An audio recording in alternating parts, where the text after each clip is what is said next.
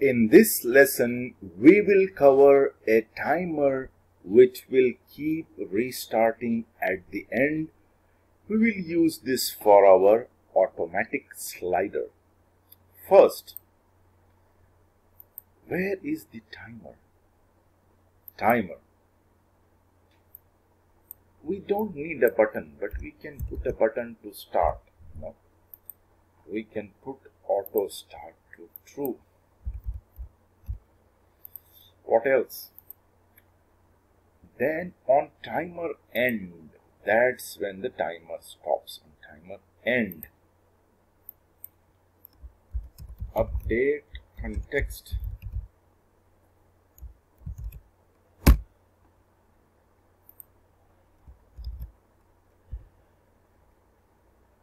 variable timer to false.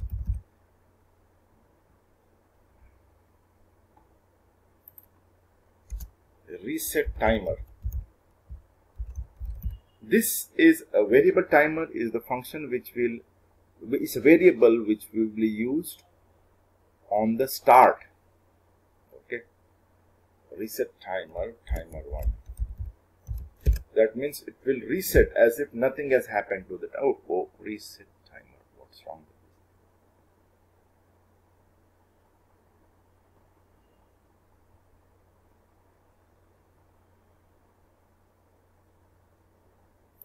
Ah, okay.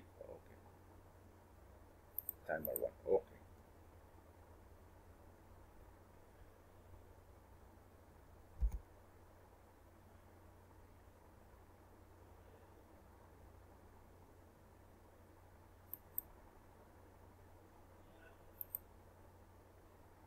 and then we will update the context oh there is no reset timer it's a reset and then the control name um, first we will make the start to be false then reset the timer then again make the start to be true. Then it will start the timer again. Did you get it? First make it false reset and then make it true. And this variable timer is in the start in the start start okay let's run. One two three four. Stop. One two and it will keep going keep going keep going. Let's close and then rerun it.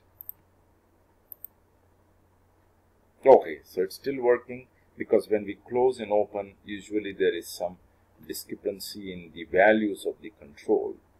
Uh, there is some uh, view state variable caching uh, you know variables which would be in place but everything seems to be working.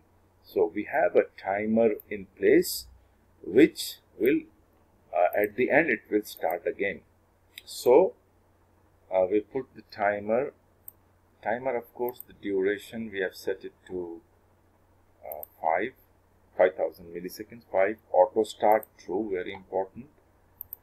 Start true and start when the uh, this we start we will use for the reset and PQR is and uh, when the timer ends timer end we are resetting this to false. Reset the timer and update context variable timer to true. Uh, that's it for this uh, lesson